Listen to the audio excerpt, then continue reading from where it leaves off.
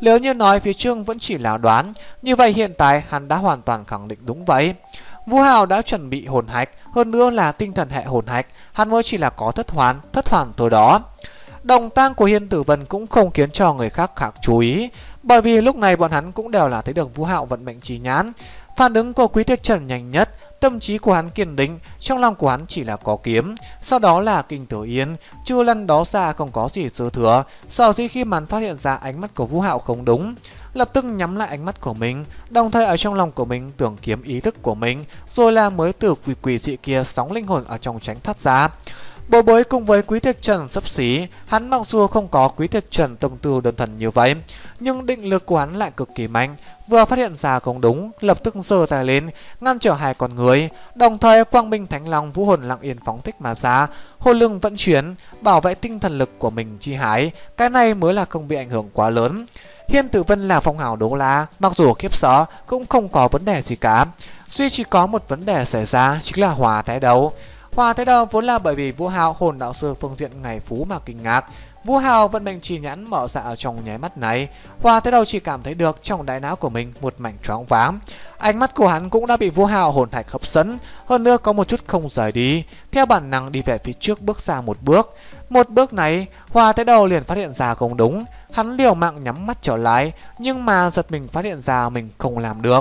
vua Hào tinh thần lực quá cường đại, hơn nữa cực kỳ chuyên chú. Hắn vận mệnh trì nhãn mở ra ở trong nháy mắt này, hồn lực xoay tròn tốc độ hiện tại của hắn cũng là khả năng đạt tới cực hạn, cho nên mới sinh ra ảnh hưởng to lớn như vậy. May mắn trong phòng còn có những người khác.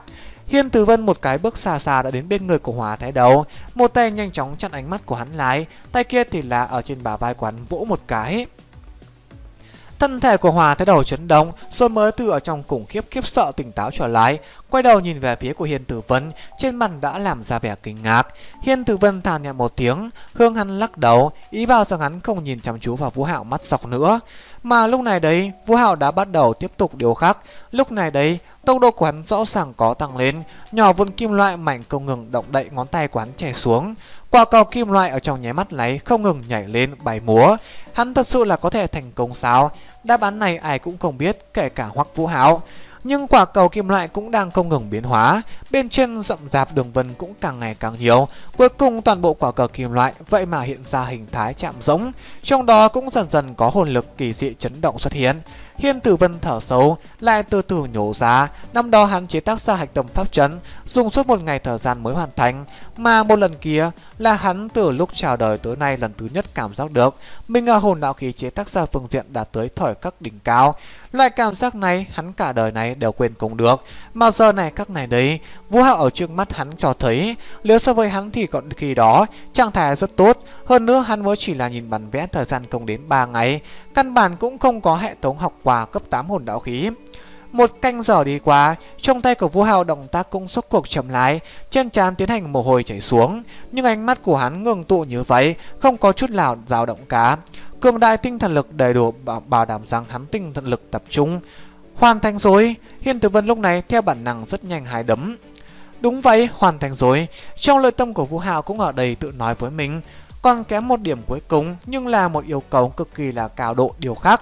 Cuối cùng là một đào kia liên tục thay đổi 18 lần, hơn nữa liên tục công tác mới là có thể đem pháp trận hồn vân này hoàn toàn như khắc vào trong đồ vật, không chỉ là cần tinh thần lực khống chế, đồng thời còn phải có cường đại hồn lực ủng hộ. Bởi vì cuối cùng khắc sâu kim loại hiếm ở bên trong, nhất định phải đem hồn lực ngừng kết thành chấm nhỏ tiến hành điều khác mà ngay cả châm hình khí cụ này đều không được, không đủ sắc bén, hơn nữa không thể như là hồn lực tự do điều khiển góc độ như vậy. Mà trong tay của Vũ Hào, khối kim loại hiếm này cực kỳ cứng rắn, muốn đơn thần dùng hồn lực tiến hành điều khác, còn phải liên tục thay đổi 18 lần, bảo trì đồng dạng cường độ, không phải hồn đấu là cấp bậc cường giả làm không được. Hiên Tử Vân lúc này đều có một loại xúc động muốn Hồ Vũ Hạo dừng lại do hắn hoàn thành một đào cuối cùng này. Như vậy tựa cũng là không lãng phí Vũ Hạo phía trước làm ra cố gắng. Bằng không mà nói, một khi cái này cuối cùng hạch tâm pháp trận chế tác giả thất bại, hắn sợ đối với Vũ Hạo mà nói sinh ra đã kích quá lớn. Hắn còn đang dò dự, Vũ Hạo đã dao động rồi. Tay trái ngón cái cùng với ngón trỏ xung đầu ngón tay nhẹ nhàng lắm lấy hai hạch tâm pháp trận Mặc dù chỉ là đầu ngón tay, nhưng mà cực kỳ vững chắc, mà tay phải của hắn trước màu vàng lợt lưỡi đào lặng yên thu hồi. Chỗ đầu ngón tay một cây kim nhọn này, thậm chí là thật nhìn hình dáng hào quang màu bích lục chậm rãi xuất hiện. Băng chấm. ngay sau đó, tay của Vũ Hạo liền chuyển động, toàn thân hắn bích quang đại thính, mà cái viên này bị hắn ngừng tụ ra bằng chấm, nhẹ nhàng linh hoạt đâm vào trong hạch tâm pháp trận ở bên trong. vua hào dưới sự khống chế tiến hành uốn éo nhỏ nhẹ.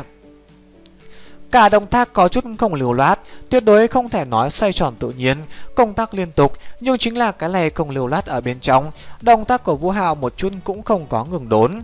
Chỗ mi tâm vận mệnh trì nhãn càng là hào quang tỏa sáng, chiếu sáng nho nhỏ hồn hạch, hắn sắc thực sáng đây là lần đầu tiên hoàn thành 18 bốn khúc điều khác, thậm chí ngay cả trong lúc đó một ít kỹ xảo cũng sẽ không có, bởi vì hắn không có học quá, thế nhưng hắn làm sao có thể tiếp tục, như vậy hắn tiêu hao hồn lực là kỹ xảo gấp đôi rồi. Hiên Tử Vân lúc này ở trong nội tấm tràn đầy nghi hoặc cùng với xung động, hắn hoàn toàn không cách nào tin tưởng rằng một người thiên phú lại có thể đạt tới trình độ như vậy, nhưng hắn tin cũng là tốt, không tin cũng chẳng sao. Vũ Hạo là lại đó tiếp tục, hơn nữa hắn hồn lực phát ra còn không ngừng tăng cường. Nho nhỏ hạch tâm pháp trận đã bắt đầu tản mát ra nhàn nhạt, nhạt hào quang màu bạc rồi. Đây rõ ràng là hồn lực xuất vào kết quả, hơn nữa còn tuyệt đối không phải là thuộc tính băng hồn lực mà là thuần túy hồn lực, không có bổ sung vũ hồn thuộc tính đấy. Nói một cách khác, số loại tình huống này, Vũ Hạo vẫn còn có tâm phần nhị dung. Hiên Tử Vân trước mặt bộ phận cơ bắp có chút run rẩy, mà lòng của hắn cũng đã hơi choáng rồi. Đây là kỳ tích, không đúng. Ở trong mắt của hắn xem ra đây cũng không phải là kỳ tích mà là hiếm thấy. Vụt một tiếng, một tiếng vang nhỏ, vũ hào màu xanh biếc bằng chầm nhẹ nhàng linh hoạt bắn ra. Cuối cùng một tia kim loại kia vỡ vụn, mà tả mắt ra hào quang màu bạc hạch tầm pháp trận nhưng lại là phát ra ong một tiếng vang nhỏ. Vũ hào hồn lực rót vào ở bên trong, đã bị dẫn bắt đầu chuyển động, thân kỳ lơ lửng ở giữa không trung. Ở đằng kia hào quang màu bạc chung quanh rõ ràng có tế vì vết nứt không gian, đúng là tục tính không gian tồn tại. Cái này tối trọng yếu nhất, một cái hạch tầm pháp trận rốt cuộc chữa khắc vào đó đồ vật hoàn thành. Vũ Hạo cũng là thở dài một hơi, vinh hồn đạo chế tác ra đài nhỏ nhẹ thở hồn hển.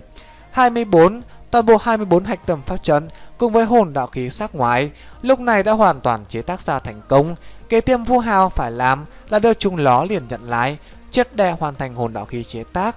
Không thể nghi ngờ, liên tiếp quá trình là cần càng mạnh hơn nữa là hồn lực chủ động mà còn cần kỹ xảo nhưng hắn có thể có vấn đề hay sao?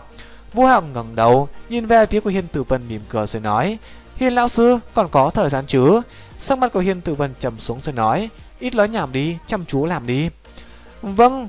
Vũ Hạo lúc này thái độ tuyệt đối là cung kính đáp ứng một tiếng, sau đó lập tức hành động tiến hành lắp ráp.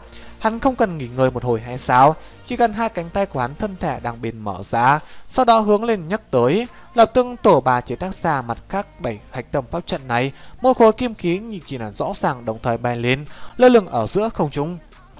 Nếu như cẩn thận cảm thụ có thể phát hiện ra, hai tay của Vũ Hạo ở trong phạm vi có một cỗ khí lưu vô hình dẫn dắt những kim loại này rơi. Khống hạc cầm lóng, Bối bối lúc này tấp giọng lẩm bẩm một câu. Bảy khối kim khí chi nhắm cũng là chậm rãi hướng vào phía trong ghép lái. Vũ Hạo dưới sự khống chế hướng phía này lơ lửng giữa không trung, màu bạc tiểu cầu tự tập tới. Như vậy cũng được hay sao? Lúc này đấy Hiên Tử Vân hoàn toàn là ôm học tập, thái độ cũng là đến quan sát. Tổ ba hạch tâm pháp trận ở bên trong, thổ hợp khó khăn nhất, khó liền khó động bộ tính này, nhất định phải đồng bộ rất vào hồn lực, đồng bộ tổ hợp, không thể có một điểm lệch lạc. Coi như là hắn làm đi, cũng nhờ một ít khí cụ để hoàn thành, mà lúc này đây Vũ Hạo chỉ là dùng tự thân năng lượng, tiểu tử này không lo lắng hồn lực không đủ hay sao? Chỗ mi tâm tinh thần hồn hạch cấp tốc vận chuyển, đem đại lượng tinh thần lực cùng với hồn lực cung cấp cho Vũ Hạo, bay lên bảy hạch tâm pháp trận, từng cái đều đang tinh thần lực cùng với hắn nghiêm mặt chìm chắm vào chăm chú, điều chỉnh vị trí, chậm chạp mà ổn định khép lại. Khi mà chúng nó cự ly trung ương tiểu cầu đều chỉ có khoảng một tấc, Vũ Hạo không khống chế bọn chúng ngừng lái, nhu hòa hồn lực đồng thể quán chú nhập bảy hạch tâm pháp trận ở bên trong. Lập tức thì bảy hạch tâm pháp trận này toàn bộ thắp sáng, tương tự tản mất ra nhu hòa hào quang màu bạc. Vũ Hạo lúc này mới khống chế được bọn chúng thật ở trọng hướng ra phía bên trong khép lại. Có tinh thần dò xét toàn lực chú ý, hắn căn bản không cần suy nghĩ vấn đề độ lệch. Khanh một tiếng, nhẹ nhàng vang lên một trong tiếng này, một quả táo lớn nhỏ hạch tâm pháp trận lúc này đã hoàn toàn tổ hợp hoàn tất. Trói mắt ngân quang giáng lên, nhanh chóng hấp thu Vũ Hạo thả ra hồn lực. tám cái hạch tâm pháp trận này ở bên trong có tích xúc năng lượng hạch tâm pháp trận tồn tại, Cái này cấp 8 phần giải pháo, nhất định thời khắc bảo trì có hồn lực ở trong đó vận chuyển, ổn định hắn không gian trì lực. Hiên Tử Vân lúc sau đã nhìn đến ngẩn ngơ, như thế nào tổ hợp hồn đạo khí này đã đến trong tay của Vũ Hạo liền trở lên đơn giản như vậy sao? Nhìn phía trước mặt quả cầu kim lại treo lơ lửng ở giữa màu bạc này, Vũ Hạo thở dài một hơi rồi nói, cuối cùng đem một bước mấu chốt này nhất hoàn thành mà thôi.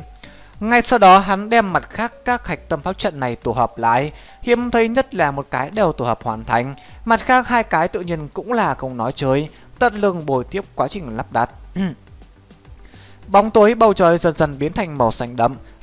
Buổi sáng sắp sửa xảy ra, mà Vũ Hào đã ôm trình thể dài ước chừng 1m5, toàn thân tản mắt ra hào quang nhàn nhạt, nhạt màu bạc cấp 8 phân giải pháo đứng ở trước mặt của Hiền Tử Vân. Hoàn thành, hắn vậy mà thật sự hoàn thành. Hiên Tử Vân cơ hồ là theo bản năng đem cấp 8 phân giải pháo này nhận lấy. Hắn căn bản không cần thí nghiệm, hắn nhìn tận mắt Vũ Hạo hoàn thành chế tác. Cho dù chế tác tỉnh tự không tính quỷ phám, nhưng ở trong quá trình hoàn thành cũng không có lửa phần kiếm khuyết nhỏ nhặt. Vũ Hạo kéo qua một cái ghế, đặt mông ngã ngồi rồi nói, cuối cùng là ở trong vòng thời gian quy định làm xong rồi, Hiên lão sư lần này ta có thể đi chứ? Hiên Tử Vân một tay mang theo cấp 8 phân giải pháo, tay kia một vật bắt đường Vũ Hạo rồi nói: "Vũ Hạo, Tiểu tử ngươi có phải hay không cùng với người khác học qua hồn đạo khí đã làm ra hay sao? Vẻ mặt của Vũ Hạo cười khổ rồi nói, không có đâu, ngài không thấy ta đều ngượng tay hay sao? Khóe miệng của Hiên Tử Vân kiềm bỗng nhiên là nhúc nhích rồi nói, ngượng tay, ngươi cái này gọi là ngượng tay hay sao? Thời gian 3 ngày ở bên trong nhìn bản vẽ liền có thể làm ra cấp 8 hồn đạo khí, vẫn là phân giải phá phức tạp như vậy đấy. Ngươi cái này còn gọi là ngượng tay sao? Vũ Hạo có chút ngượng ngùng rồi nói, Hiên lão sư, người đã quên rồi hay sao?